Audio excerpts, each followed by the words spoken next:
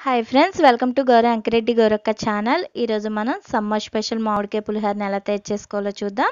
ముందుగా పోపు కోసం కొద్దిగా ఆయిల్ని వేడి చేసుకుని రెండు టేబుల్ స్పూన్ల పల్లీలు వన్ టేబుల్ స్పూన్ పచ్చి వన్ టేబుల్ స్పూన్ మినప్పప్పు వన్ టీ స్పూన్ ఆవాలు నాలుగు చీల్చి పెట్టుకున్న మిరపకాయలు రెండు ఎండుమిరపకాయలు వన్ టేబుల్ స్పూన్ అల్లం తరుగుని యాడ్ చేసుకోండి. అలాగే కొద్దిగా కరివేపాకుని యాడ్ చేసుకొని స్టవ్ని మీడియం ఫ్లేమ్లో పెట్టుకొని పోపు మొత్తం ఎర్రగా వేగే వరకు వేయించుకోండి.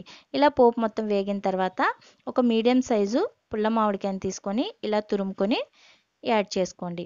ఇలా యాడ్ చేసుకున్న తర్వాత రెండు నిమిషాల పాటు ఉడికించుకోండి.